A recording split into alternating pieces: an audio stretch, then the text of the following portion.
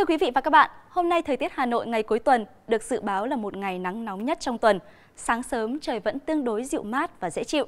Nhiệt độ trong thành phố ở vào mức từ 26 đến 27 độ, độ ẩm trong không khí trên 90%. Hình thái thời tiết này cũng chỉ duy trì đến khoảng 9 giờ, sau đó mật độ mây giảm nên nhiệt tăng nhanh lên mức là 32 độ vào 10 đến 11 giờ. Càng về trưa chiều, nhiệt độ tiếp tục tăng cao lên mức 34 độ vào khoảng thời gian từ 14 đến 16 giờ.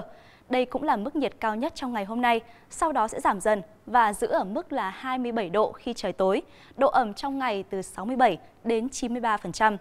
Chỉ số tia UV vẫn được dự báo ở mức cao, mức có nguy cơ gây hại đối với sức khỏe con người.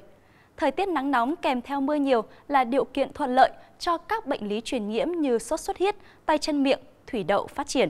Để phòng tránh, người dân nên dọn dẹp, phát quang bụi rậm, xử lý các vùng nước động hoặc nơi chứa nước, đảm bảo vệ sinh môi trường sống thông thoáng và sạch sẽ.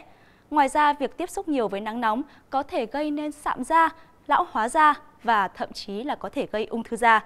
Vì vậy, việc bổ sung đầy đủ chất dinh dưỡng, rèn luyện thể dục thể thao giúp hệ miễn dịch hoạt động hiệu quả hơn. Còn sau đây là thông tin thời tiết chi tiết các khu vực tại Hà Nội trong ngày hôm nay. Khu vực phía Tây thành phố từ Phúc Thọ tới Trương Mỹ Hà Đông có mây, ngày nắng, chiều tối và đêm có mưa rào và rông, nhiệt độ từ 26 đến 34 độ. Hình thái thời tiết này cũng sẽ diễn ra tại khu vực phía Nam từ Thanh Oai, Thường Tín đến Mỹ Đức với mức nhiệt độ không thay đổi. Khu vực các huyện Sóc Sơn, Mê Linh, Đông Anh có mây, ngày nắng, chiều tối và đêm có mưa rào và rông, nhiệt độ từ 25 đến 33 độ. Vùng núi Ba Vì, Sơn Tây cũng tương tự kiểu thời tiết này với mức nhiệt độ từ 24 đến 34 độ.